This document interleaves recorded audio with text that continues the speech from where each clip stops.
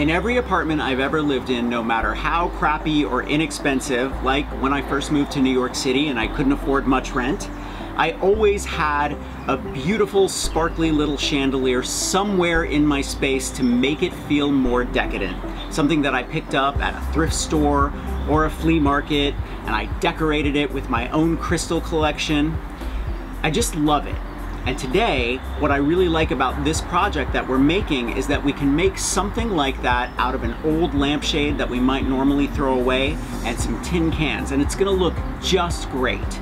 Now I'm gonna leave mine silver, but you could spray paint it gold and add a bunch of crystals if you want. It's really up to you.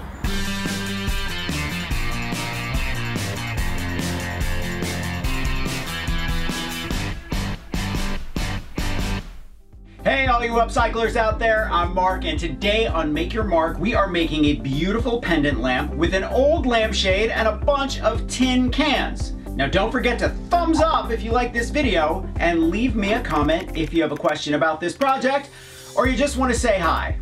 Are you ready? Let's make a tin can pendant lamp.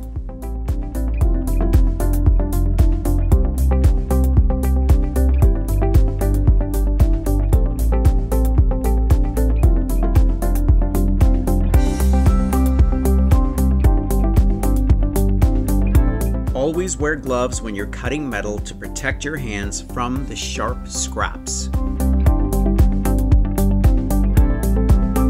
Serrated edge tin shears will dull the edge of the tin as you cut it.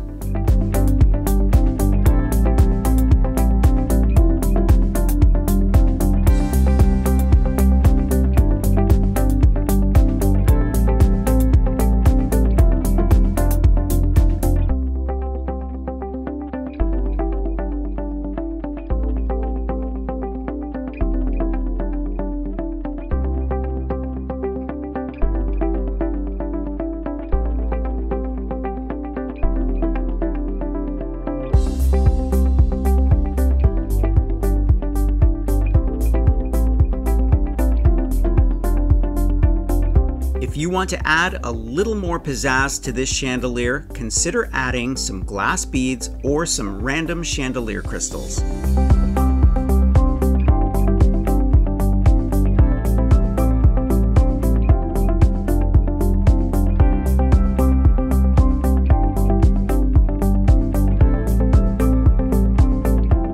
I'm gonna leave a link in the description to all of my favorite eclectic products. They make E6000 glue, the only glue you'll ever need. Thumbs up if you like this video, leave me a comment and I will get back to you. Subscribe to my channel if you haven't already. Don't forget to press that notification bell so you know I have a new video. Grab any one of my craft books, I know you'll like them, and I will leave a link in the description for those too. And I will see you next week. Bye.